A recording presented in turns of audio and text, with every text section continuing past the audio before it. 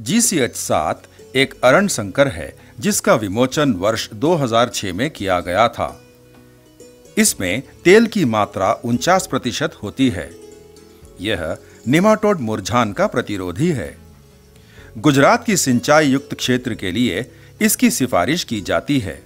यह बीज गुजरात राज्य बीज निगम और अरण्य एवं सरसों अनुसंधान केंद्र एस के नगर गुजरात के पास उपलब्ध है।